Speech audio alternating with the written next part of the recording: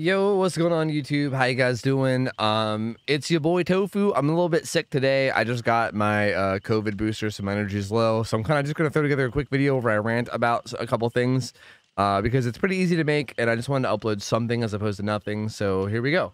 I'm going to be giving my thoughts on boons and specifically Circle of Healing and what I think should be done. And also maybe like what I think are good suggestions and bad suggestions. And I want to kind of get your guys' thoughts.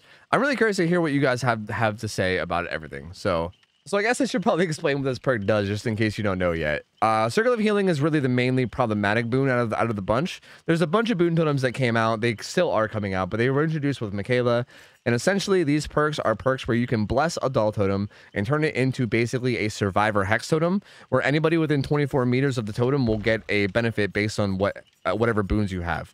And you can stack multiple boons, right? Like for instance, if you made your build something like this, then whenever you made a boon whenever you made a doll totem into a boon, survivors within 24 meters would get the effects of all four of these. They would get all four on the on the same totem. So that's essentially what it is. It basically creates like a home base for survivors almost, where they get a bunch of benefits. Now, the majority of these are pretty okay. I would argue that every perk outside of Circle of Healing is not really problematic in any way, and I've never really heard people complain about them too heavily. Like some of them are pretty like, and they're even pretty strong. I would argue Shadow Step can be really, really strong. I would argue Exponential can be very, very strong. A lot of these can be very powerful, but they're just not quite on the same level of um, pissing everyone off, I guess, as Circle of Healing. So Circle of Healing is what we're going to mainly be focusing on. This one in particular is what it does is it makes it so that basically people can heal themselves whenever they're within range of the boon. And also all healing speed has a 50% healing speed bonus to it. So you can heal yourself and any healing, whether it's yourself or healing other people, 50% extra speed. Now, before I get into anything deeper about maybe people's suggestions for nerfs or discussing the idea of nerfing or changing it, I should probably say what my problem with this is, because I'm curious to know if my problem is the same as everyone else's. So I'd be really curious to hear. Please leave a comment about this, because this is something I actually care a lot about. My problem with this might not be the same as other people's problems. I don't know.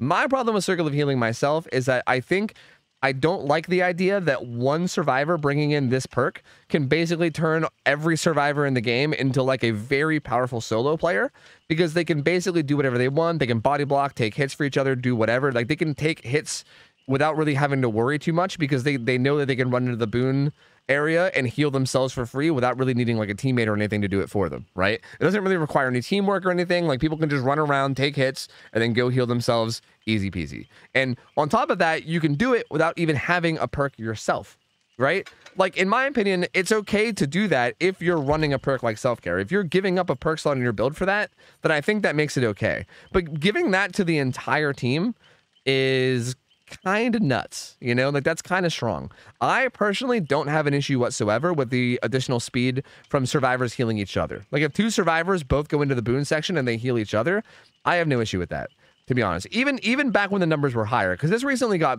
got nerfed. It used to be 100%, and then it was 75%, and now it's 50%. Even when, even when it was back at 100%, I still didn't mind when survivors killed each other. Like, yeah, it was fast, but at least it's taking two survivors that have, that have to do it, and I'm totally cool with it, because they can heal each other anyway. It just, it just saves a little bit of time. So I don't know if that really holds true to everyone else, but that's really my primary concern. Also, I would say my other concern is that totem spawns are really whack right now, and I don't think that totems should spawn in really, really obscure areas. Like, for instance, the totem spawns that are like at the top of the Ironworks of Misery are just completely absurd and probably shouldn't even exist. And I would argue that the totems that spawn in like the top of the RPD library as well. Like I think if there's ever an area of the map that's like really far out of play where there's really no like generators or anything there. Like there's really no objective there for the killer to have to go near. There really shouldn't be totems there, right? I think that's kind of silly. Because if a survivor puts a totem, if a survivor puts a boon up there, then the killer has to go so far out of their way to snuff it. And it, might not seem like that big of a deal. And you can make the argument like, oh, well, the survivor has to go out of their way to put it up there. But it's a 1v4 game, right? And that means that the that the that the time that the killer invests in going up there to do it is kind of like it's not even kind of it is it's worth four times more as as as as a survivor right like one survivor has to go up and do it while, while the other three survivors can be doing whatever they want. When the killer goes up he's the only person on the on the killer on the on the killer's team right? That means that entire side of the game is basically just doing nothing while they take care of that. There's no like three other people to fall back on to like help you pressure the map while you do it. Like you're literally just giving up everything for a solid like 10 seconds or whatever it takes to like run the whole way up there and snuff it and then get back into play. It's a very very long time investment and it makes it really really rough So that's my other issue, but that's honestly an issue that realistically is not going to get solved because the devs are not very great at making map changes. So I don't really see that one being solved. So I'm going to kind of mostly ignore that one. Although I think I think the best fix would be to fix totem spawns and make it so that totems only spawn like near actual objectives like gens and stuff but then also make them hidden. Like make none of make sure that totems aren't visible just from running around. Like you should have to actively look for them to, to find them.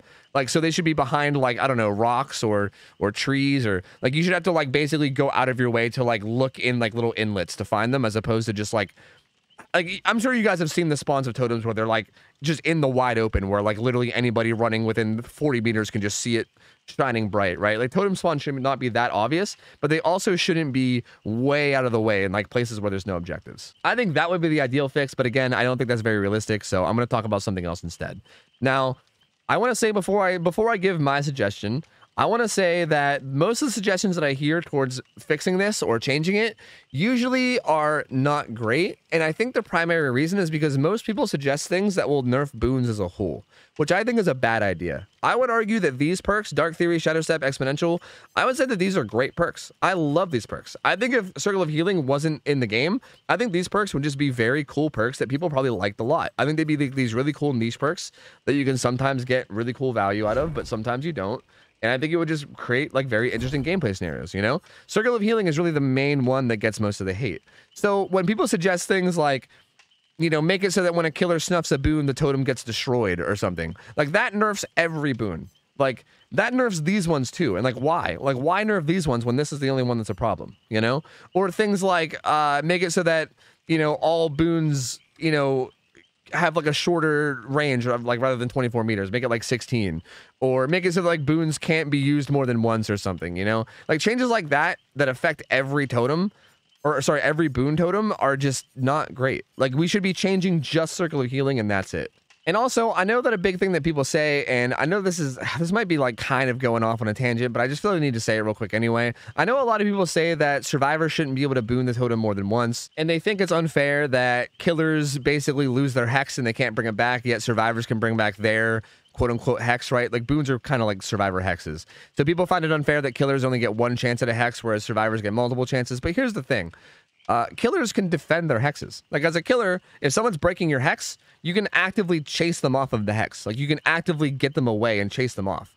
As a survivor, you can't do that. You can't defend your boon. Like if you really want to keep your boon up, if the killer just goes there and then like kills you and then snuffs the boon, like what can you do? You can body block it, but he's just gonna kill you and then and then snuff it. Like there's no way to stop the killer from getting rid of it. You know. and on top of that, like the the whole time of the whole time efficiency on both sides is also like pretty bad on the survivor side, right? It takes like what, like 14 seconds, I think, to, to make a boon totem. It's somewhere between like 12 and 16. I can't remember. It's like 12, 14, or 16. I can't remember. But either way, it takes a decent bit of time to make a boon, and then killers snuff it in like a second. So like time investment wise too, it's also in the in the killer's favor. Even if we say that the killer's time is worth you know four times the the survivor's time it's still worth it because it's just such a significant difference in time. So i don't think that's a good suggestion. I know a lot of people say that but i think that's a terrible terrible suggestion. And again that nerfs that nerfs every other boon too which i think is completely absurd because these other boons i think are very interesting and good perks that i don't think need to be nerfed so, on to my suggestion. This is something that I am admittedly stealing from somebody in my community. I'm not going to name their name. I know they're kind of, I know they're a little bit on the shy side, so I'm not going to like, I'm not going to name their name and give them credit unless they want to. If they want to, like, I don't know, call themselves out in the comment section, then maybe I'll pin their comment if they want to, but I don't know if they will. But this is an idea that I'm stealing from somebody else that I thought was a great idea. But I brought it up on my stream one time, and a lot of people seemed to disagree. A lot of people agreed, and a lot of people disagreed, and it was very interesting. So I, I want to like make a video out of it, and I want to like be able to have a comment section where I can, you know, have permanent comments where I can see what people think about it because I'm very, very curious.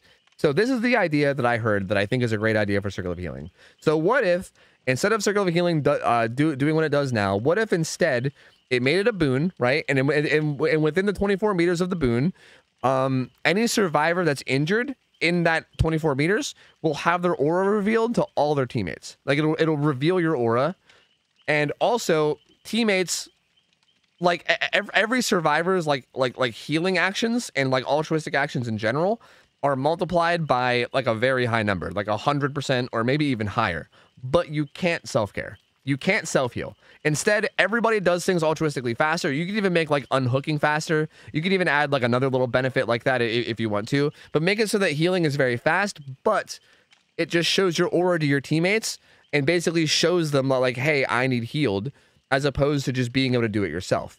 That way, if you're taking a hit and then running into the boon area, you don't just run in there and then heal yourself for free. You run in there and you have to stand there and like, you know, wave at your teammates and be like, hey, hey, help me. I need healed. I need healed, right? And then your teammates have to then leave whatever they're doing and run over to the boon and then heal you. And it like puts more pressure on the survivors and it forces them to have to like use teamwork as opposed to just people being able to run in there and so and, and self-care all willy-nilly without really worrying about any teamwork or anything, right? And it would also make it a lot weaker as more survivors died too, right? Like if it was like a 3v1 scenario, Circle of Healing would be a lot less strong as opposed to like how it is now where like in a 3v1 it's very very strong. Um so I I think that change is amazing. That sounds like the perfect change to me because it would force teamwork heavily and it wouldn't really be like this like solo perk anymore where you can just do whatever the fuck you want. I still think the totem spawns things suck. Like I still think having to go upstairs into the RPD library to snuff totems is really dumb and should probably be fixed. But if that can't be fixed, I think that's a good idea as far as how to make this perk better. I think that turns it into more of a teamwork based thing as, as, as opposed to more of a solo based thing. And I would be totally okay with that being in the game. And it would still, the thing about that is it would still be pretty good against hit and run strat and it also would be still really good against three gen strat. But I think that's okay. It would be significantly less good against hit and run. Like hit and run would be a little bit more viable against it. But three gen would be basically impossible, which is okay because I think having a counter to three gen, like having a niche counter to three gen, is kind of okay. I don't think that perk would be strong enough that people would be running it every single game anyway, right? Like I think if it was like that, it would be like more of a niche perk. Like it would be okay, but it wouldn't be like nuts, you know? Like people might run like self care builds more, right? Which is okay. I think it's fine. That kind of gives you options, right? If you want to like be the only person on the team that runs a healing perk and kind of give everyone on the team a, a means to heal each other and heal up quickly, then you can run boon. But if everybody wants to run solo perks, then everybody can run solo perks, and you got to give up more perk slots. Like I think it, I think it's strong enough that it would give people the option to run it, but it's not so strong that it's the obvious choice every single time. You know what I mean? Which is kind of how I feel like Boon Circle of Healing is right now. Like it feels like it's basically the obvious choice every single time if you want a healing perk, or just in general. Like it just feels like very powerful. Um, See, I don't know. That's my thoughts. This is a real quick video. I don't really have anything more to say. I probably forgot to mention a couple things, but I honestly, I'm I'm a bit out of it because of how I'm feeling right now. I'm, I'm a little bit on the sick side, so I'm just gonna leave it at that. Let uh, let me know your thoughts. I'm very curious to, to know your guys' thoughts on that. If you guys have any gripes with that idea that I had, feel free to share it. I'm curious to hear it. If you guys have any other other ideas yourself for how they uh, uh how they should fix it, let me know. I'm just curious to know. I'm also curious to know again your guys' issue with the perk in general as well, which is something that I would still love to I would still like to know too, because I think that makes the discussion a lot easier to do when I know what people actually have a problem with. And um, yeah, that's it for me. Hope you guys enjoyed this. Um, I know this is just quickly thrown together, but I just wanted to give you guys something rather than nothing for a video today. And I hope you guys have an awesome rest of your night. Thank you guys so much for hanging out with me. Hope you guys have a good one. I'm out of here. See ya. Take care. See ya. Uh, see you later. See ya.